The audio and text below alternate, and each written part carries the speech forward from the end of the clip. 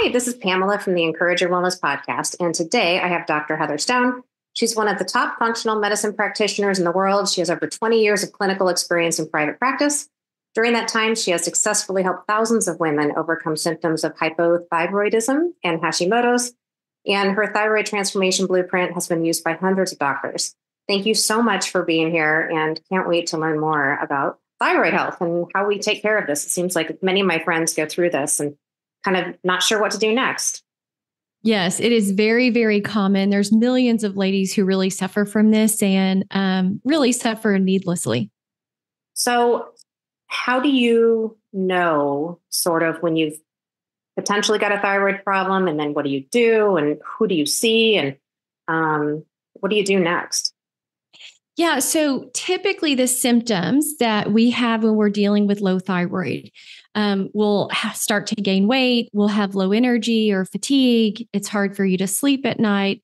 Um, whether that's you, it's a hard, you have a hard time falling asleep or staying asleep um, ladies will experience constipation or diarrhea or IBS symptoms of, of really any kind. And they may even have anxiety and depression. And so that those clump of symptoms, like if you Googled any of the combination of those symptoms, you'd probably see uh, you need to check your thyroid.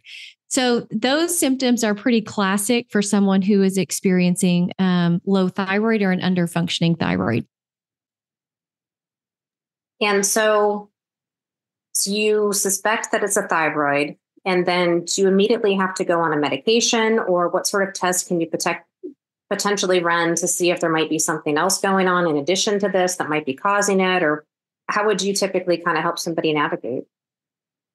Well, traditionally in um, in traditional medicine, they run a one marker they run a marker called TSH. If you're lucky, they will do a TSH with a thyroid panel, which includes three additional markers to see if you have hypothyroid, right? Hypothyroid means that you have an underfunctioning or low thyroid hormones. So in in traditional medicine, they will immediately put you on thyroid medication and to get those thyroid hormones normal. And typically they tell you, um, you know, all your symptoms are going to go away in a couple of weeks and you're going to feel amazing and come back and see me in sometimes six months or even a year. They will wait to see if they've balanced out these thyroid hormones. But unfortunately, when you're dealing with the thyroid gland, it's not usually that easy. Some ladies do experience results after taking the thyroid medication and they don't really have to deal with all of those symptoms anymore, but that's really few and far between. Most of us who have low thyroid um, there's a lot of other things going on underneath the surface that aren't addressed. Um, in addition to just making sure that your thyroid hormones are normal, there's um, at least 11 or 12 different markers that really complete a full thyroid panel that really should be run.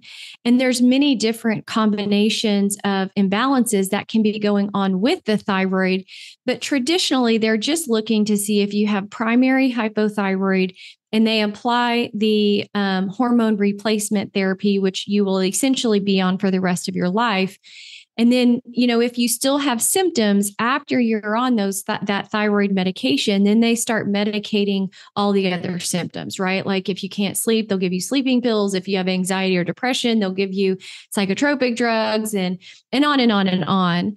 But in the functional world, we know that your body gives you symptoms because something is not right because there is some kind of underlying imbalance.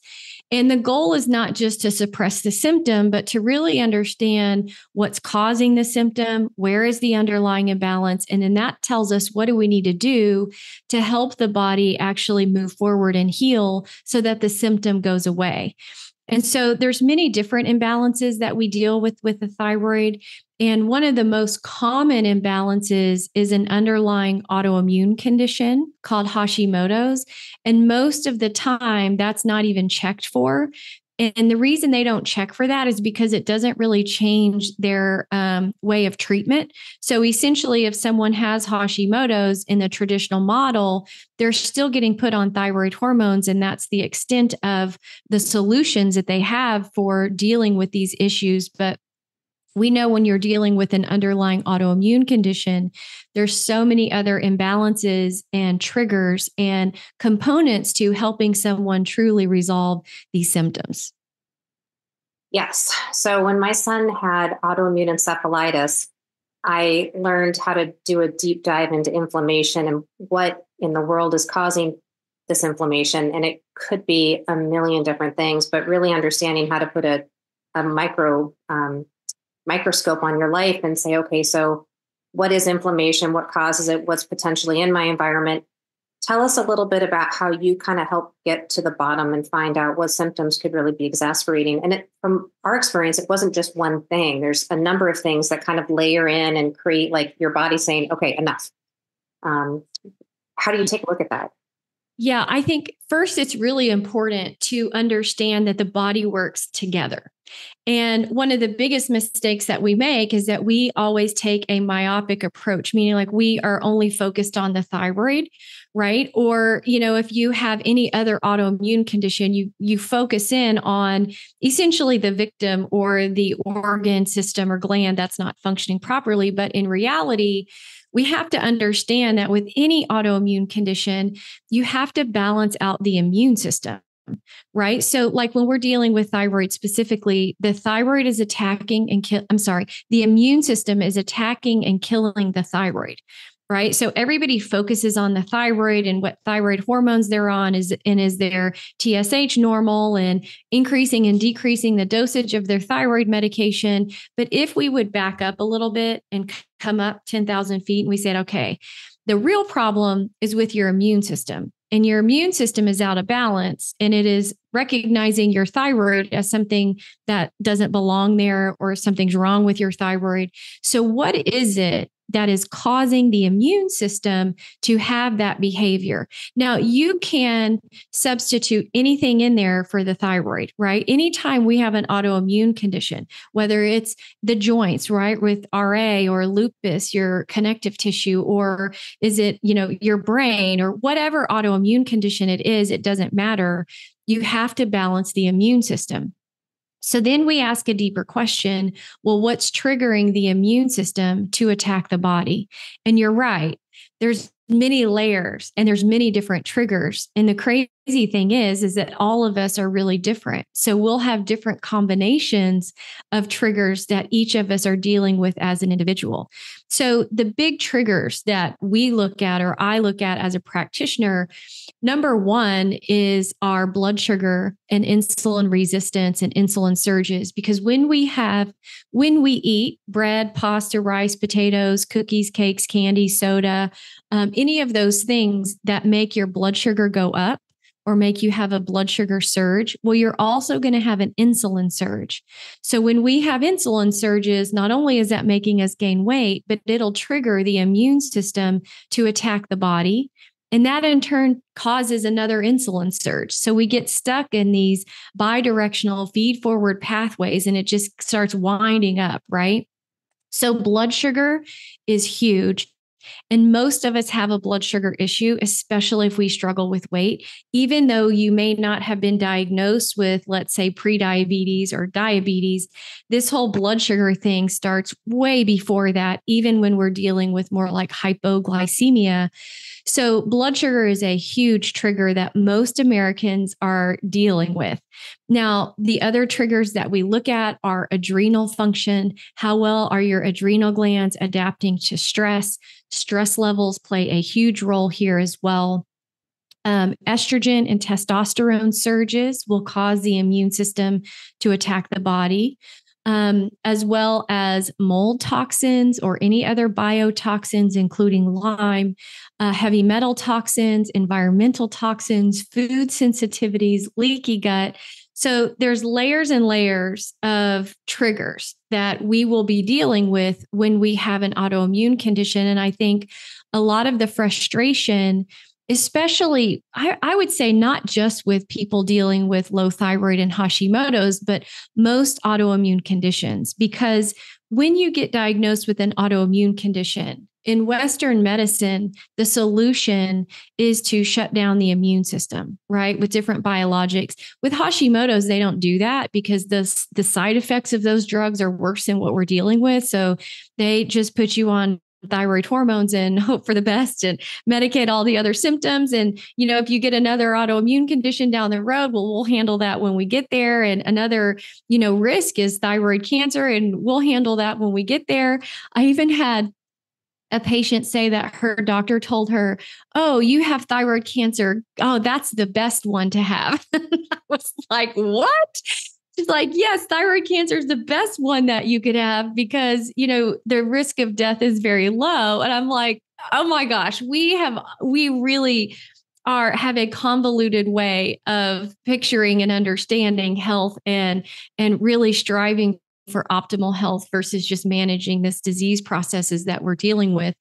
But when we're dealing with autoimmunity, you a lot of times we'll start uh, focusing on one trigger even though we're dealing with like 10 triggers, right? And you said something about inflammation. Inflammation is a huge trigger.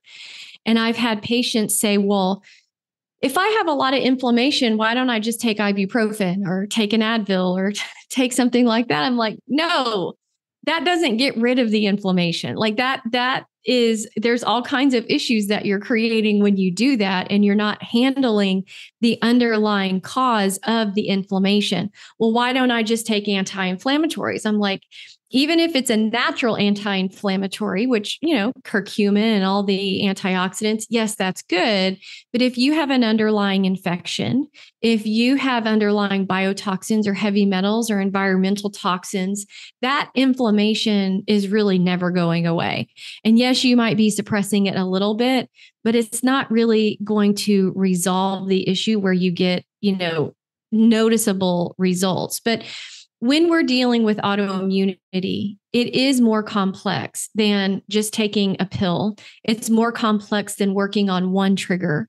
You have to do comprehensive testing to understand all the triggers that you're dealing with and really start to work on those at the same time in order to actually get, you know, make some progress. Yeah, no, it's it's it's kind of um overwhelming for most people as they're going through this. Um, and what I found was it's really important to take notes and track your symptoms and write down what you're doing, what you're not doing, because everybody will ask you, you know, what you have been doing, and it's hard to remember. And um, so when you're starting to get somebody help, uh, do you find that all of it is blood tests, or do you also have some that could be saliva or urine or stool? Um, I think a lot of people are afraid of blood work. Um, and then some, some doctors won't even order it because they say it's too expensive, it's not needed. You know, what do you do? Um, well, for me personally, as a practitioner, I do all kinds of testing, not on every patient every time, but I always do comprehensive testing when someone starts. And then we go as deep as we need to go to really understand um, the complexity and the cause of each person's you know issues. So yes, I do very extensive blood work. And when you're playing the insurance game, it becomes kind of tricky because insurance companies want an ICD 10 code or a diagnosis code to justify the testing that you're doing. And they will say, well, you know, homocysteine, yeah, I think that the diagnosis codes that you listed um, don't justify running homocysteine. So the patient will all of a sudden get a bill for $250 for that one marker. And um, and then the clinicians, we get nasty letters from insurance companies threatening um, that they are going to sue us or there's going to be some kind of repercussions for ordering all of these tests because they don't want to pay for all of these testing.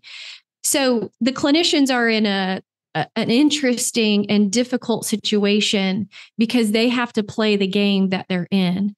And you know, on my side of things, we I am a member of a co-op, so a bunch of doctors get together and we buy down the cost of of blood work and we go the cash route. So like my comprehensive testing normally if we went through insurance would be about $3500 but our testing is i think about $360 and so it's about 10% of what gets billed to insurance. That's and that's where isn't that crazy when you go through insurance and then they kick it out it makes it makes doing the blood work almost you know cost prohibitive for most patients if they do it that way.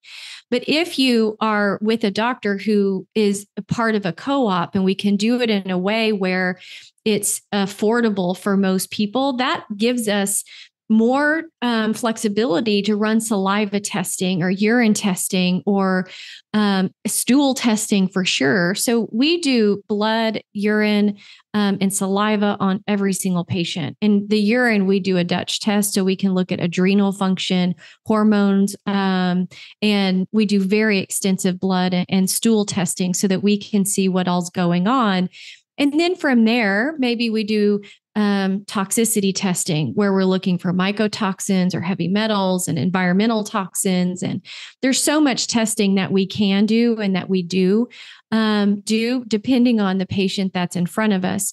So finding someone that you can add to your team, right? There is a certainly a time and place for Western medicine, um, but also on your team, if you're really looking to optimize health and address these underlying issues, and not just find the disease and apply a medication or a surgery for the disease, but you really want to resolve symptoms and optimize your health. You have to take a, a bit of a different approach in order to do that. And I think most of the frustration comes from trying to go the the western medicine route but expecting the results of a functional medicine route and that's where we get really frustrated. Yeah. So when people are looking for a doctor, it's definitely a great idea to have a a regular doctor in in your corner also looking for a functional or an integrative doctor in your corner mm-hmm. um, and then you know i, I kind of like in health and wellness now to if you're going to do a major project on your house, you're probably going to shop around a little bit.